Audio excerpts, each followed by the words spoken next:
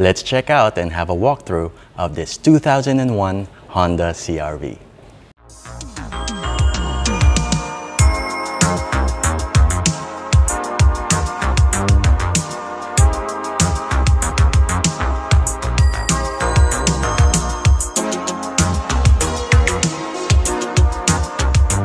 Welcome to Bud TV! What's up YouTube? This is Bud TV here with another episode para sa inyo. And for this week's episode, I'm gonna show you a walk around video of a 2001 Honda CRV. Different ito ah. Ibang CRV ito. Baka sabihin nyo ito yung uh, Project CRV natin. Hindi. This is an entirely different CRV that we got way back in 2018. Okay? So I'm gonna show it to you. Bababa tayo sa baba. Uh, by the way, before we proceed, huwag niyong kakalimutan to give this video a thumbs up. Comment kayo if you have any comments or suggestions and share this video to your friends. Don't forget to click the bell icon to get notified on our future videos. And most importantly, huwag na huwag niyong kakalimutan na mag-subscribe sa channel namin. Okay? So thank you sa lahat ng mga supporters, new and old supporters and subscribers of Bud TV. Thank you so much for helping me reach my goal. Okay? So, ano pang gagawin natin? Baba na tayo. I'm gonna show you a 2001 Honda CRV walk around video.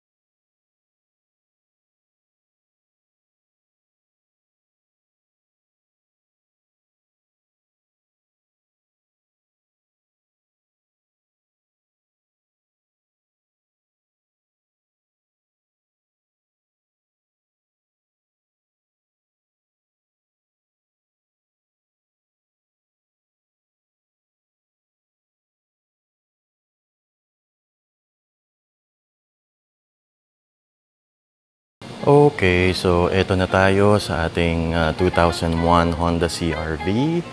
As you can see, dun sa maiksi nating uh, B-roll or cinematics na ginawa ko kanina, uh, nakita nyo na yung mga details niya. Pero I wanna get uh, a little bit more in-depth dun sa mga ginawa ko dito para maintindihan nyo rin at the same time. So, let's start with the engine bay, shall we? So, okay, eto na tayo. Nakabukas na ang hood. Mag-start tayo sa engine bay. Ayan. Ito is a 2001 Honda CRV. So, uh, it's, uh, it has a uh, B20B engine. Okay. And um, uh, wala naman ako masyadong um, pinag uh, binago or inalter dito sa engine na ito. No? Just to give you an idea, uh, magkaiba kasi ang engine ng uh, 1997-1998 na Honda CRV Gen 1 sa 1999, 2000 and 2001. So, ang difference nila is naka B20A yung 97-98, ang uh, 99, 2000 and 2001 is B20B. Kasi na-figure out nila na mas underpower yung B20A. So, nilabas nila yung B20B para ma-facelift siya para mas maging mas malakas or more powerful yung engine nito. Kung papansin ninyo, um, ipapakita ko sa inyo yung itsura nito before namin siya uh, inayos. So before, ang kulay nito was green. Since hindi namin gusto ng dark color, uh, I had it scraped off from uh, green, ginawa namin siyang white. So pinasok namin siya sa Vrumix to have it repainted, scrape to metal and everything. So shout out ulit sa Vrumix for um, doing this paint job for our CRV. Okay, so yan na siya. White na siya ngayon. And uh, wala naman akong masyadong binago. As what I've said sa engine bay, I only had it refurbished. Um, basic maintenance, of course, yung mga oil seals and everything, pinalitan ko. And uh, most importantly, uh, yung mga kailangan, yung na-feel ko na kailangan ng palitan aside from uh, yung maintenance parts is yung power steering pump kasi meron na siyang leak. Tsaka nagpalit ako ng brand new na um, compressor ng aircon. Aside from that, wala na akong binago.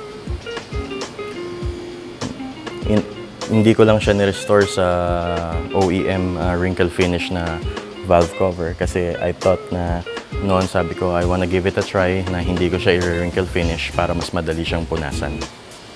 Next, we move on dun sa body kung ano yung mga pinalitan ko. Uh, mag-start tayo dito. Um, kung uh, titingnan nyo, ito ay um, Performa, yung harap niya. So, I had to replace the grills, Performa grills. Itong uh, bumper, nagpalit din ako ng Performa bumpers. Japan Performa bumpers with um, uh, fog lights. Okay. Meron din tayong original na bumper pole.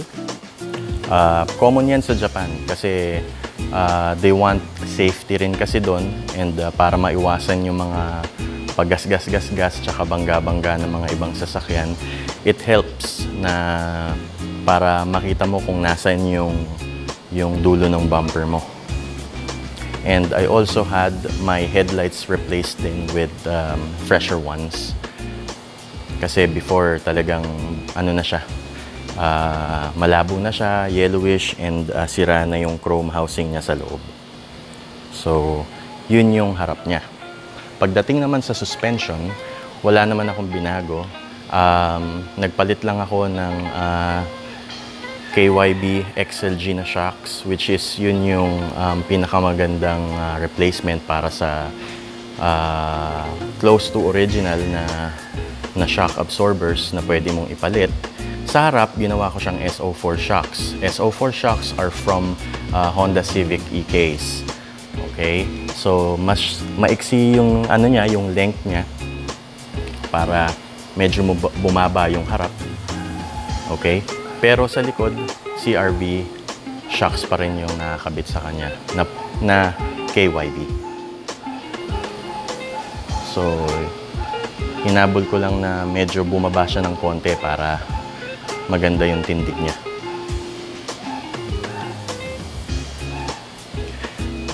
Pinalitan ko rin siya ng um, 17s na Gen 3 CRV na wheels and I had it repainted para maiba naman yung itsura. Pagdating sa exhaust, original CRV pa rin. Not a fan ako ng uh, ng uh, babaguhin yung muffler sa CRV but others, yung mga builds nila, pinalitan nila ng Honda Access which is meron naman talagang original nun. Pero I prefer to have the stock mufflers installed instead. Bumili na lang ako ng uh, original chrome uh, muffler tip para sa CRV for that clean look. Naglagay din ako ng JDM wing, Performa wing, na merong third brake light na LED. Ayan. Merong mirror.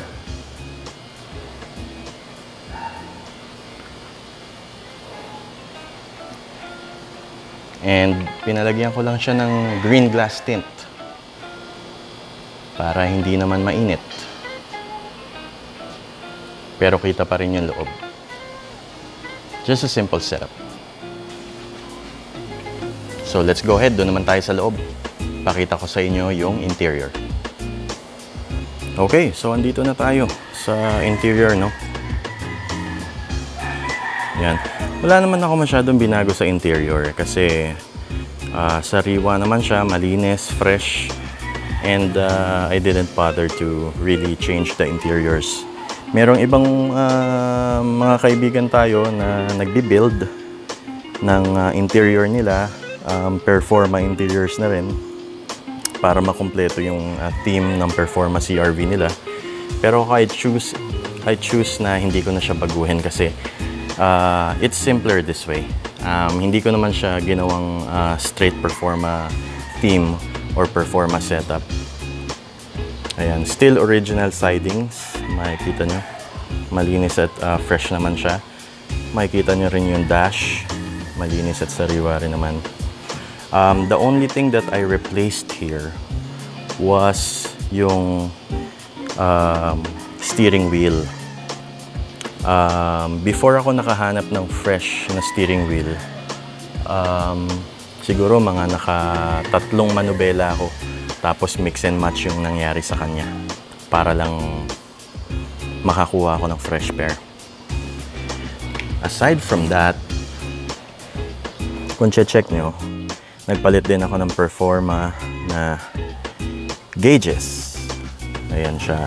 If you want to see kung paano ko siya in-install before, I will put the links on the description box below uh, dun sa instructions or yung uh, video ko on how I installed the Performa gauge. Nagpalit din pala ako ng ng uh, air vents na JDM, meron na rin outside temperature. And uh, pinalitan ko rin ng uh, medyo mas bago na touchscreen 2D head unit ng radio. Okay, so before we go, before we uh, end this, papakita ko lang din sa inyo yung um, something different dito sa Gen 1 CRVs natin. Um, kung, kung makikita nyo, uh, this, this um, design, itong Gen 1 design, was conceived ng 1993. Imaginein mo, sobrang tagal na niya. But surprisingly, kung titignan nyo sa labas, ano, maliit lang siya na sasakyan, na crossover. Pero once you get inside, napaka luwag niya, surprisingly. Ako, ang height ko, nasa 5 foot 11 ako, pero I didn't have any problems in fitting myself in. So, very comfortable siya, maluwag siya, hindi ako nahirapan na uh, isiksik yung sarili ko compared sa ibang crossovers. So ito, i-share ko lang din sa inyo ha. Oh, by the way, ito pala, um, bumili ako ng uh, ng tool covers dito sa mga gilid kasi yung iba kasi wala talaga. So when I bought mine, wala naman tool cover. So I had this uh, uh, purchased. Uh, surplus siya. It, uh, these came from Japan. Itong mga tool covers siya. And uh, ito, meron siyang meron siyang picnic table. Kung makikita nyo. So ito, what this what this does is meron ano siya, napo-pull up siya kukunin mo lang. Tingnan mo, may, tingnan nyo, may butas pa sa loob kung saan nyo nilalagay yung umbrella, di ba? Yung malaking payong. So, just pull it up like that. And then, uh, na, meron, na foldable naman yung mga paa niya.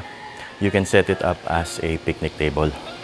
Nagamit ko na to once dito sa bahay eh, when I had visitors and I had to use the picnic table. Napaka-useful niya. Ayan. And um, ito, meron siyang uh, cargo hook for uh, siguro mga plastic bags kung may magsha-shopping ka or whatnot. Meron ding lalagyan ng extra storage for tools. Yan, dito. And uh, that's about it. Ito, ipakita ko lang din sa inyo yung, ano, yung third brake light cover. Yan yung sinasabi ko. If you guys are interested in buying that, Rumix has that for sale. They still have stocks available. You can go to their web, uh, their face, Facebook page and inquire about the availability. Pero I think they still have lots of stocks available. Those are imported and they are from the US. They are 3D print and are um, suitable for Gen 1 CRVs. Shoutout sa Brumix ulit, KFPV, and Biray uh, Towing Services. I hope you guys enjoyed this week's episode. If you do, don't forget to give it a thumbs up.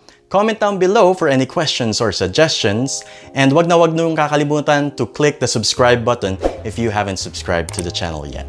And wag niyong kakalimutan din pala to click the bell icon to get notified on our future videos.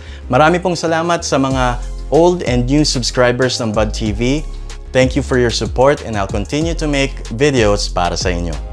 And before we go, I just like to make a short shoutout sa mga kaibigan ko na, na sumusuporta sa Bud TV.